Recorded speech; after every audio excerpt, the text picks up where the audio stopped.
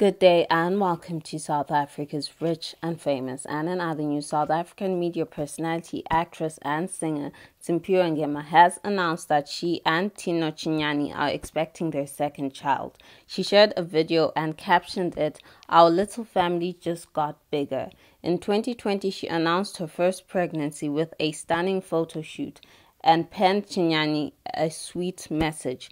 In 2021, Simz announced that they had split, but then they rekindled their love in 2023. For more stories like these, kindly do keep subscribing to our YouTube channel at South Africa's Rich and Famous.